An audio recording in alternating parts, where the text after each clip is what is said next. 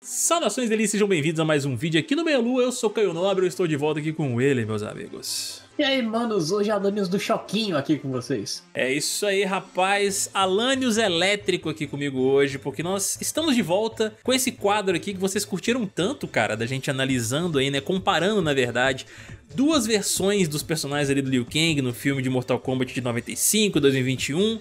E neste vídeo de hoje nós vamos fazer aí um especial aqui, cara, porque nós vamos juntar Mortal Kombat 95, Mortal Kombat Aniquilação e Mortal Kombat 2021 para poder falar de Raiden. Sim, esse personagem delicioso aí que nos deu muitas alegrias no cinema e muitas tristezas também. Vocês vão entender daqui a pouco por quê. Então já deixa seu like, se inscreve no canal e ativa o sininho para não perder notificação dos próximos vídeos. É uma regra do YouTube, se vocês não ativarem, vocês não recebem os nossos vídeos. Então vamos lá, Lânio, sem mais delongas, porque a gente tem muita coisa pra poder falar aqui. A gente vai seguir basicamente o esquema do outro vídeo que a gente fez lá do Liu Kang, tá? A gente tem os tópicos separados aqui pra gente poder discorrer um pouquinho sobre cada um dos Raidens de cada um dos filmes.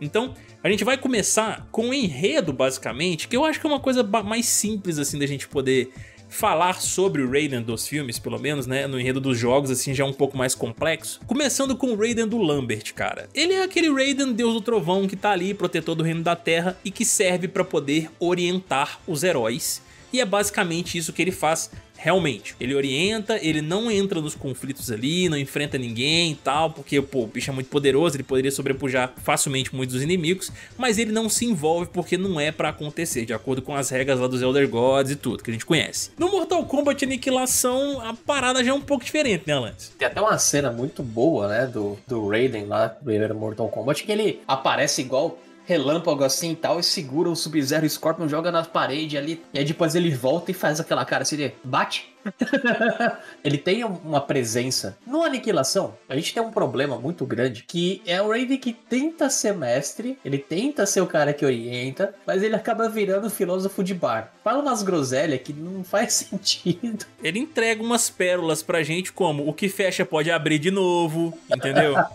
Luta tão bem quanto é bonita, essas coisas assim, sacou? Ele é filósofo, igual o Alanis falou, esse filósofo de bar, e o tiozão do pavê lá com as piadas ruins, sacou? É basicamente isso esse Raiden. e um Raiden que luta capoeira ainda por cima, cara. Isso realmente foi uma evolução do personagem, entendeu? Ele realmente foi pro Brasil, estudou a cultura ali, aprendeu capoeira com a galera e se tornou um mestre, porque tem uma cena de capoeira linda nesse filme. Mas tem um ponto ali, que é a questão do sacrifício. Eu entendo a ideia, só que a forma como aconteceu ficou zoado, né? Porque no final das contas é, é fica a ideia de que ele meio que virou fugindo. Até, até a roupinha, né? Fica muito estranho ali. O Raiden do, do Aniquilação, ele, é, ele tenta ser mentor, ele tenta fazer um sacrifício e no final ele acaba descaracterizado, deixando de ser Raiden. É uma maçaroca ali que não funciona, né? O Raiden do Mortal Kombat 2021, por outro lado, meus amigos, assim, todos os que a gente for falar de Mortal Kombat 2021 nos próximos vídeos que a gente for fazer dos personagens aí, a gente vai sempre trazer a bagaça do roteiro, que atrapalhou demais ali em vários dos personagens, não foi apenas em um. E com o Raiden não é diferente, mano, porque trazendo em termos aí de enredo que a gente tá comentando, ele é sim o Raiden que orienta, ele é sim o Raiden que explica pra galera o que que tá acontecendo, fala que eles precisam lá ter o seu treinamento, que eles precisam despertar a sua marca, né, para poder liberar os seus poderes, poder participar do torneio, beleza.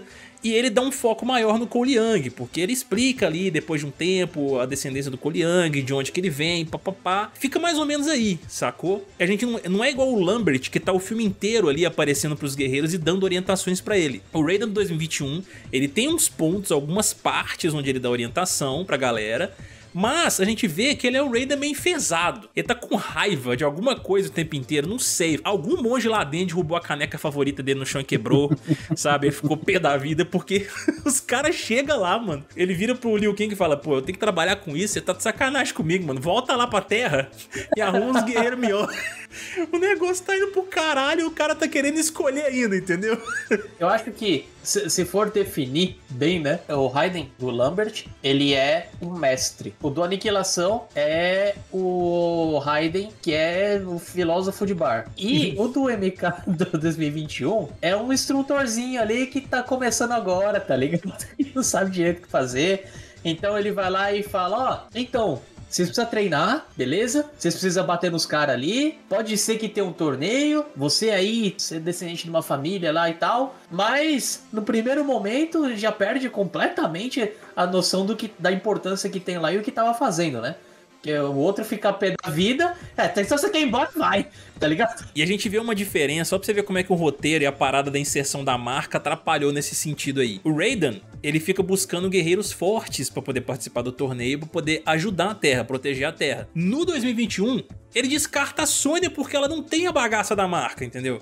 E ela é uma personagem forte, ela é uma guerreira forte, coisa que no Mortal Kombat mesmo na franquia não tem. Então esse ponto ficou zoado pra esse Raiden também, porque ele descarta a Sônia Assim como o Liu Kang e o Kung Lao fazem também, tipo, não, sai da nossa arena aqui, você não tem marca, então não adianta você lutar, né? Aí, aí é sacanagem, entendeu? Sabendo que a Suna é uma personagem forte também. Melhor que o Keno, que pelo amor de Deus. A gente ainda tem um outro ponto nesse Raiden de 2021, que é, ele fala, tipo, vocês vão treinar aí com o Liu Kang e Kung Lao, eu vou dar uns perdidos ali, trocar uma ideia com o Zelda vou tomar um café na minha caverninha ali e eu vou deixar um de vocês morrer, entendeu? Eu só vou aparecer depois. Na verdade, eu apareço antes, levo alguns embora, deixo uns aí e uns morrem no processo. É mais ou menos isso. Ele vai lá, esquece do, do perigo que tem, deixa desprotegido e quando volta, leva todo mundo pra tela de loading, tá ligado? Porque o ponto fundamental, qual que é? Se não tem torneio, isso é explicado na lore do Mortal Kombat. Se não tem torneio, o Raiden pode lutar, entendeu? Ele não pode intervir se tem torneio, mas se não tem, ele pode. Você quer um grande exemplo disso daí, Alanios?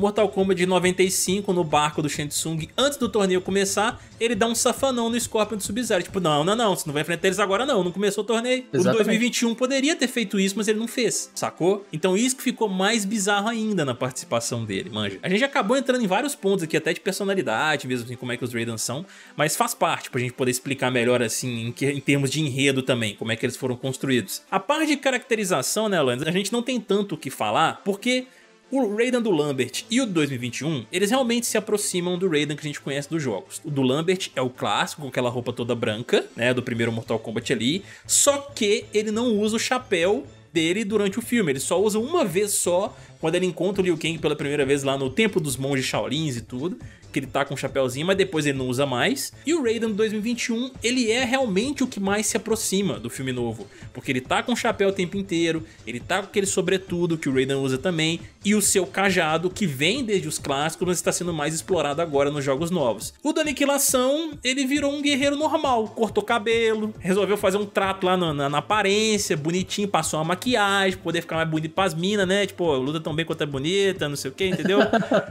Faz rabinho de cavalo. É, é, nas, nas é. cambolhotas, inclusive. Esse aí não faz rabinho de cavalo normal com a mão ali, sim, de boa, não, mano. Tipo, ó, eu, eu quero ser o Raiden diferentão aqui. O meu rabo de cavalo eu faço na cambolhota, fi. Pra mostrar que eu sou pá. E o foda, né, Alan? Só terminando aqui sobre o do Aniquilação. Só na parte inicial do filme que ele tá com uma roupa que é próxima à do Raiden dos jogos. Depois, muda completamente. Depois fica aparecendo fugindo. Eu gosto muito da aparência do, do Raiden do Mortal Kombat de 95, porque ele é simples.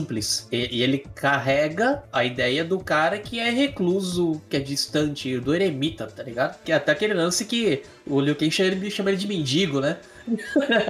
Você é um mendigo! O que vocês estão com medo dele? Tá pois é, é mesmo, não, eu tinha esquecido disso, cara.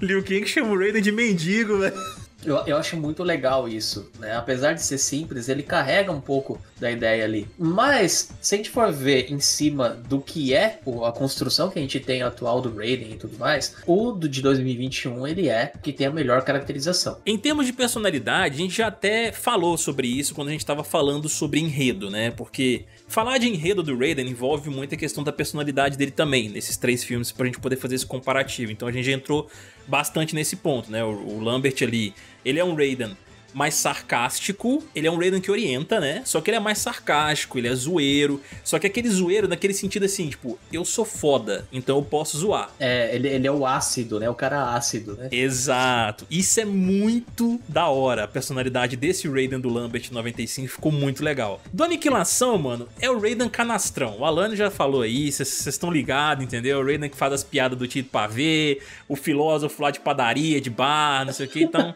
fica mais ou menos isso, cara. Ele tenta passar algumas lições ali, mas fica aquele estresse igual a gente falou no início, mano. O que fecha pode abrir de novo, caramba e tal. Então, e aí, a gente vai pro de 2021, que a gente já comentou também, que é um Raiden assim que ele orienta, só que ele é mais enfesado, ele é mais raivoso e tal, e, não tá, e, e fica meio aquém dos acontecimentos. Essa é a personalidade basicamente dele. Em cima da visão do Asano, o que, que ele falou? Ele falou assim: olha, no primeiro momento eu achei que o Raiden que eu tava interpretando era um cara muito infantil, mas depois eu percebi que ele é um cara muito apaixonado e por isso ele se perde nas emoções. Eu acho que isso daí ele tem um pouco de razão, mas eu adiciono que ele é mais imaturo do que outra coisa. Ele é muito humano e pouco divindade. O Raiden do Lambert é mais divindade. E tem o tiozão do bar. E aí, cara, a gente passa para um outro ponto que a gente até comentou no vídeo do Liu Kang, que é a questão das lutas. Os Raidens desses filmes lutam? Sim, a gente já mencionou aqui, inclusive, entendeu? Começando com o Raiden do Lambert ali. Ele não necessariamente luta, ele não,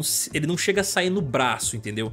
Ele faz mais demonstrações de poder que ele tem do que ele realmente sai no braço, como acontece ali com o Scorpion com o Sub-Zero, que ele manda os dois longe com um choquinho, um chocão na verdade, né? E a parte do dedinho, tipo, ah uh, -uh. E aí, tipo, I don't think so. Aí sobe o choquinho no dedo, entendeu? É mais isso do Raiden do Lambert, de demonstração de poder. O do Aniquilação, no entanto, eles quiseram fazer uma luta foda ali de Shao Kahn versus Raiden no início do filme, que é um show de falha de chroma key que você até perde a atenção na hora que você tá prestando atenção na luta. É, é foda, é tenso esse negócio. Eles colocam o gritinho do jogo lá, eba, eba, e, nossa, é. e aí a gente tem a capoeira no final do filme com o Reptile. Esses são os momentos que ele luta nesse filme, que é zoado pra cacete, pelo amor de Deus. e o Raiden de 2021, ele não luta. É, ele só tem o momento do Enough! Foi, bate o bagulho no chão e acabou. É o máximo que você vai é. ver dele mexendo o bastão dele ali. Vai lá e planta a antena no lugar ali e beleza, tá, tá feito. O cara é deus do trovão, planta a porra da, da, da antena ali e larga. Como se o Kano fosse o cara mais honesto da face da Terra, tá ligado? O cara faz tudo errado, né?